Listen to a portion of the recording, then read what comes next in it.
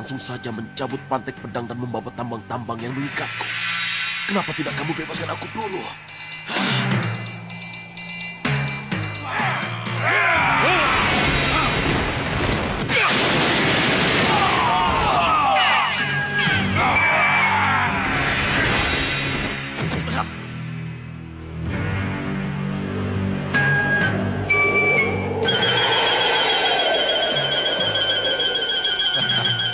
Usaha Tuan berhasil, Tuan Bahadur. Ya? Soca Cendawa yang sok jago itu. Kewalahan menghadapinya.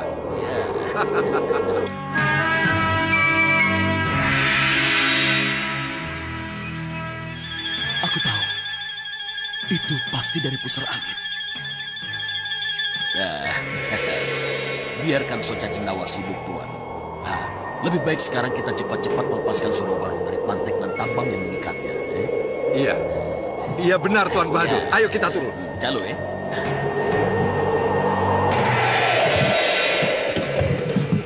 Lihat itu.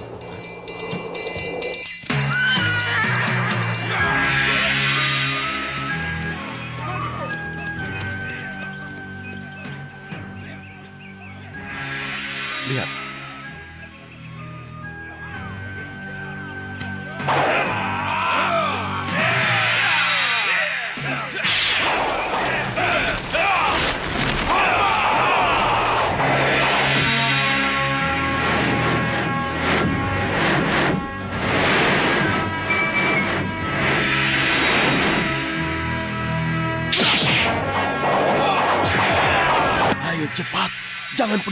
Berkelahi.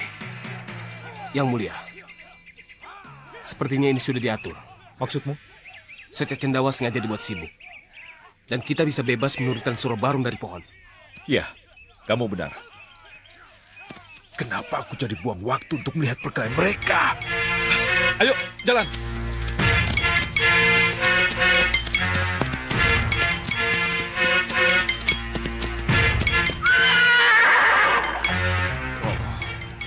Jadi kamu yang akan membebaskanku, ha? Bagus. Cepat lakukan. Dan jangan sampai yang lain mendahuluimu. Malapati, cepat turunkan Surobarong. Tandu Latu, Tandu Teja, turunkan dia. Baik, Kakak. Kita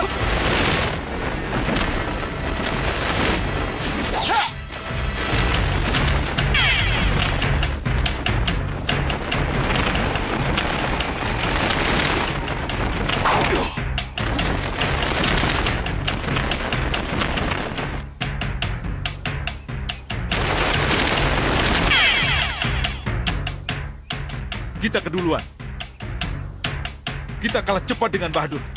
Ayo, kita tinggalkan tempat ini. Ayo. Ya.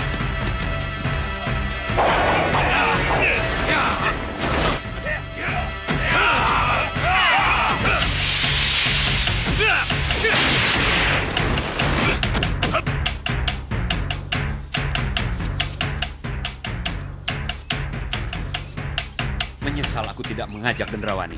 Ah, menyesal, Bopo?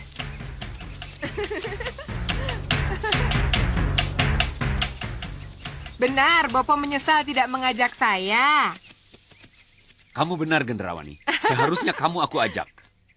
Suruh bareng bukan hanya kita yang mengincar Bopo. Jadi tidak mungkin Bopo berangkat sendiri meskipun Bopo sudah menggunakan lorong sihir. Kita harus berangkat bersama-sama, Bopo. Pengalaman Ratu Gelap-Gelapnya kegelapan yang gagal jangan diulang, Bopo. Sudah, Gendrawani. Sudah. Sudah. Ya. Lalu siapa yang berhasil membawa Surobarong? Bahadur. Bahadur. Berarti berarti Surobarong dibawa ke pusar angin. Dan Singa Marutala yang akan memanfaatkan kekuatan Surobarong untuk menyerang Malwapati, Bopo. Tapi mereka belum bisa memanfaatkan Surobarong. Kita masih punya harapan. Kenapa Bopo bilang begitu? Pusar angin itu di atas langit, Gendrawani. Surobarong tidak akan bisa hidup sebelum Surobarong menginjak bumi, menyentuh tanah. Mereka tidak akan bisa berbuat apa-apa sebelum Surobarong hidup lagi. Ah, kalau begitu, kalau begitu, Hanya kitalah yang tahu bagaimana menghidupkan kembali Surobarong. apa yang harus kita lakukan, Bopo? Kita rampas dari mereka. Caranya? Hanya kembang setaman yang bisa menjawab. Ayo pulang. Kita harus bertanya padanya sebelum terlambat.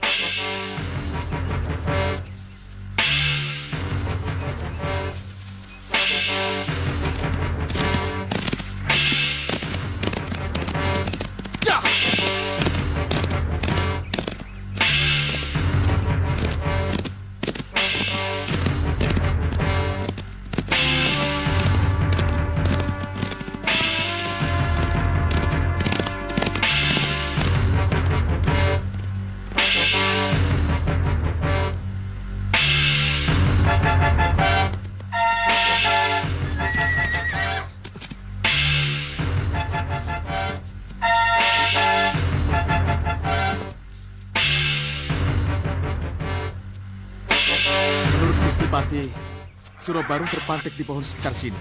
Setelah pertarungan yang sengit, terlihat jelas bahwa kawanan Sudawirat akhirnya tertinggal langkah, sementara golongan hitam berhasil lebih dulu mencapai tujuannya. Suro Barong, yang menjadi sosok penting dalam konflik ini, telah dibawa ke kerajaan Puser Angin. Di sana, Suliwa hanya menemukan sisa-sisa kejadian tragis, sebuah tali yang masih menggantung di pohon, bekas tempat Suro Barong sebelumnya terikat dengan kejam.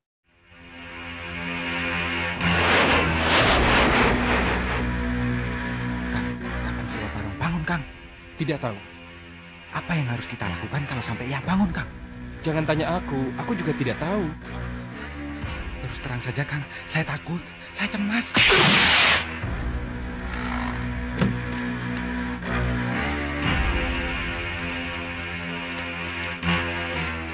Bagaimana? Belum ada tanda-tanda ia bangun? Belum yang mulia. Kenapa belum? Saya akan coba yang mulia. Akan saya coba membangunkannya. Ratu mere jane tu mere tu mere. Sukma Surobarong bangunlah. Datanglah. Datanglah. Datanglah. Aku masih hidup. Aku akan tetap beku dan kaku kalau tidak kau sentuhkan kakiku ke tanah. Tempat kalian di atas langit. Aku tidak akan hidup sebelum ku sentuh tanah. Kamu, kalian menyiksaku. Bangun! Bangun! Eh! Bangun, bangunlah. Kalau aku bisa bangun, pasti kubunuh kamu. Bangun! Cukup Tuan Badur. Ia belum bangun juga. Tuan bukan ahlinya. Aneh. Ini aneh. Ini benar-benar aneh, Tuan. Kenapa sihir saya tidak bisa membangunkannya?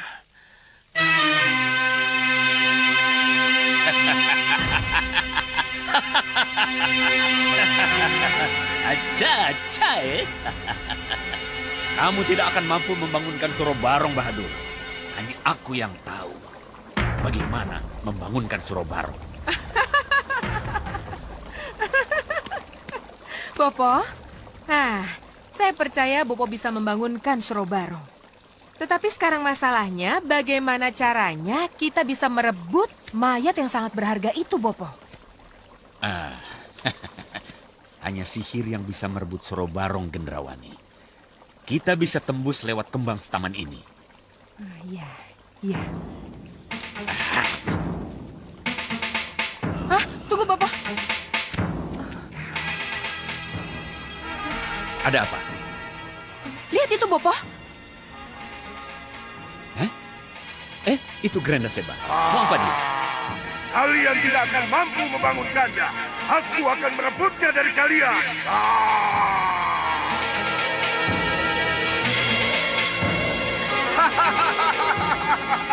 Renda Seba!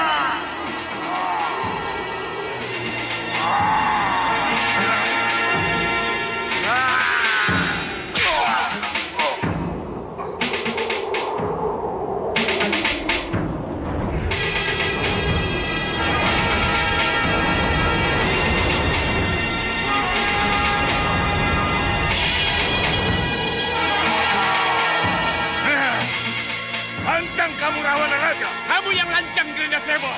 Kamu tidak punya malu. Kenapa kamu mau merebut Surobarong yang sudah menjadi milik pusat angin? Hah? Selama Surobarong masih jadi maya, dia boleh diperebutkan. Tidak. Kamu tidak akan pernah bisa masuk pusat angin. Selama Rahwana Raja sang penciptanya masih ada. Buktikan itu. Iya. Pertempuran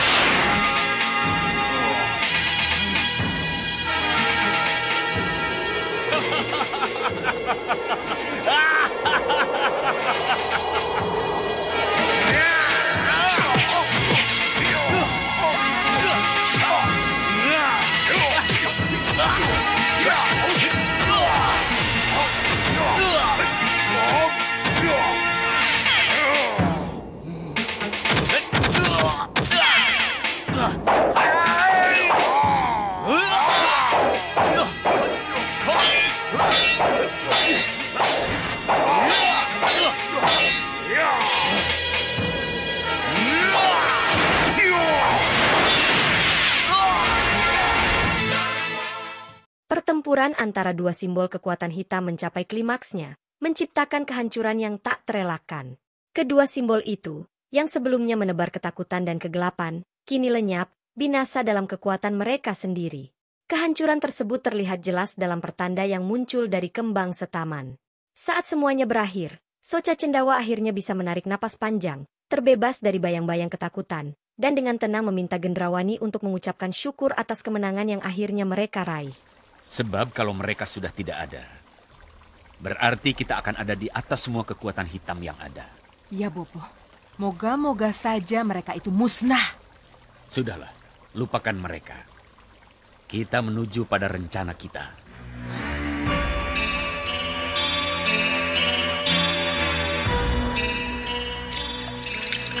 Lorong saya. Beri aku jalan untuk menembus langsung di mana Surobarong berada. Beri aku jalan menembus langsung di mana Surobarong berada. Bapak? Bapak? Bapak?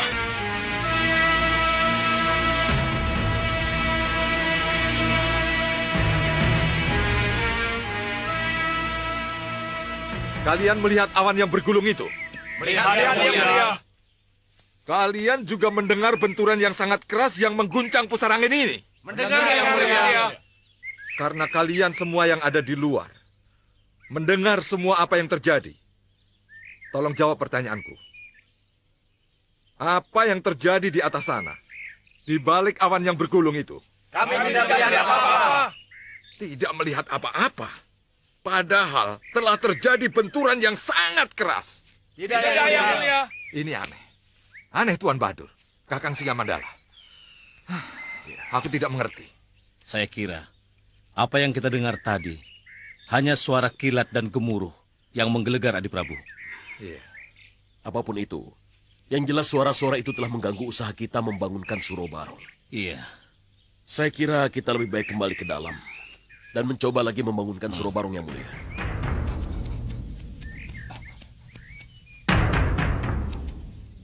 Celaka yang mulia, celaka. Kenapa? Apa yang terjadi? Surabarong yang mulia, Surabarong. Ada apa dengan Surobarong?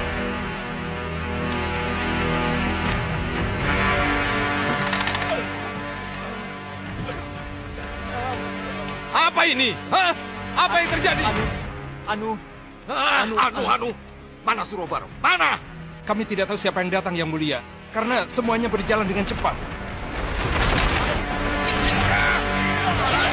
Kamu,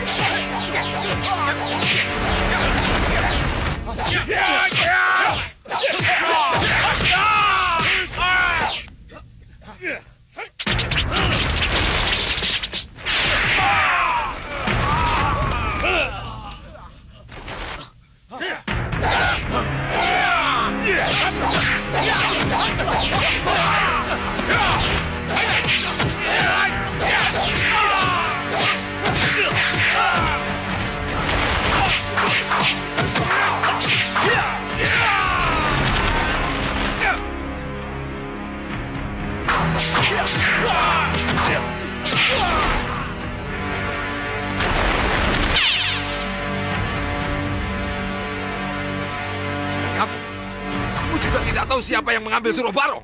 Tidak tahu yang mulia.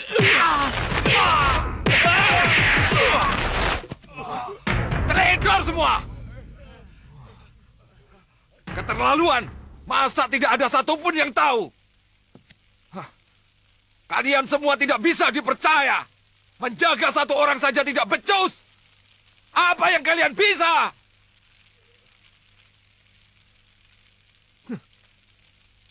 Dan kalian? Kalian juga tidak tahu. Ampun, yang mulia.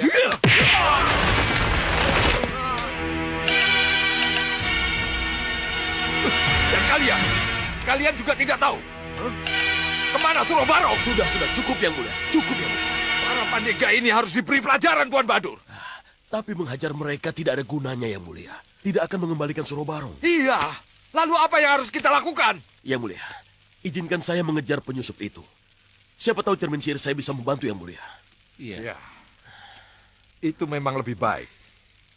Silahkan Tuan Bahadur. Tapi saya tidak ikut.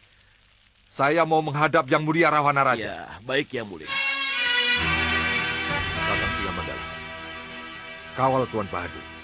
Jangan sampai terjadi sesuatu padanya. Iya, baik Adik Prabu. Silakan.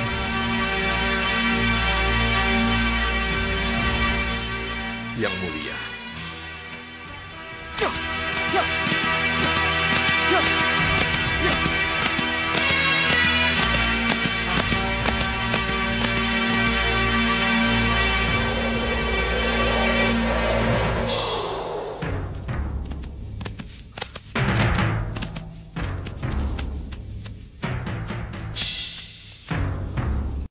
Sisi lain, Sudawirat bertekad untuk mencari Suro Barong di kerajaan Puser Angin. Namun, tekadnya terhenti oleh kebingungannya. Bagaimana ia bisa sampai ke sana?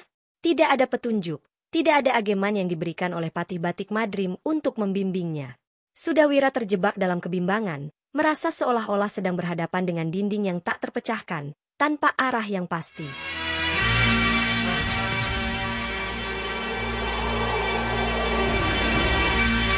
Itu si Mandala. Mau ke mana mereka? Ya, ya. Ayo cepat, susul aku!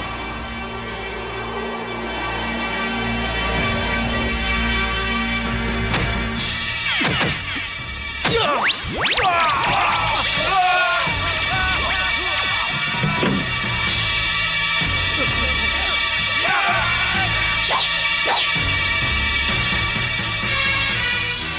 Wirat. Ya, aku sudah Wirat. Aku butuh jawaban dari kalian. Mana Surabaro? Kamu sudah membajak kendaraan kami, melanggar wilayah kami. Tangkap dia!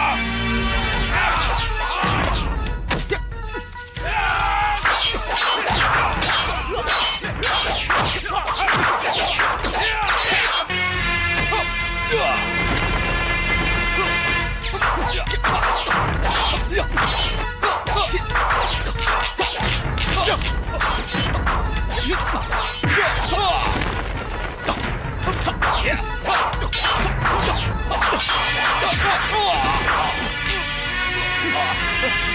kamu tahu tentang Surobarong, bukan? Ya, eh, saya tahu. Majikanmu mencurinya dari lembah. Saya eh, saya tidak tahu. Bohong! Baik, baik.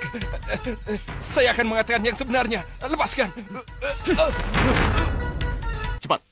Katakan di mana Surobarong disimpan. Di ruang tahanan. Tapi mayat itu sudah tidak ada. Mayat itu dicuri oleh seseorang. Dicuri seseorang?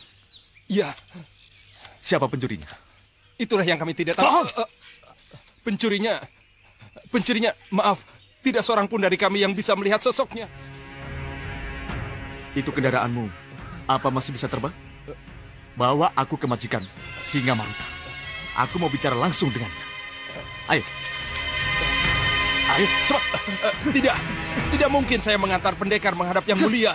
Eh, eh, Saya harus ikut junjungan saya Singa Mandala. Mengawal Tuan Bahadur untuk mencari Surabarung yang hilang. Oh, jadi Singa Mandala mengawal Bahadur untuk mencari Surabarung yang hilang. Iya. Kalau begitu, ayo kita terbang bersama. Tidak. Mengejar Singa Mandala dan Bahadur. Ayo, Saya tidak berani. ayo, cepat terbang. Baik, baik. Ayo naik, kejar Tuan Bahadur.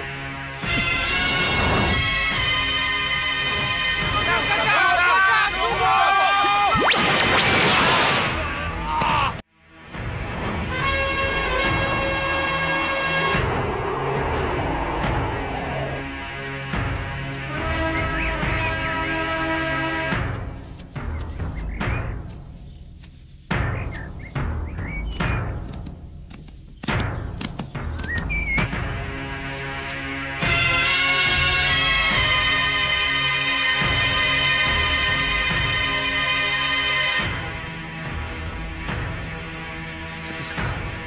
Pada ke mana mereka? Mana gerobak dan kedua lelaki bertopeng tadi?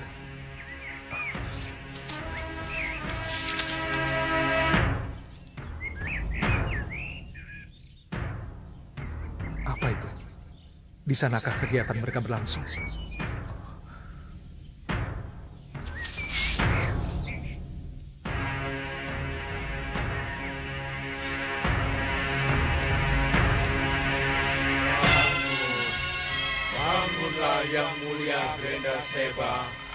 Bangunlah untuk kami.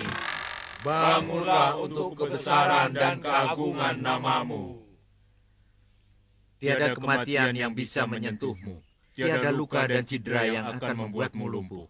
Bangunlah. Bangunlah yang mulia Grenda Seba. Bangunlah untuk kami. Bangunlah untuk kebesaran dan keagungan namamu. Bangun. Bangunlah yang mulia Grenda Seba. Bangunlah untuk kami. Bangunlah untuk Seba bisa sakit, dan luka dan tidak sadarkan diri. Ah, Bagus, ini baru berita. Suatu saat harus kusampaikan apa yang ku ketahui ini pada Gusti Prabu Angin Dharma.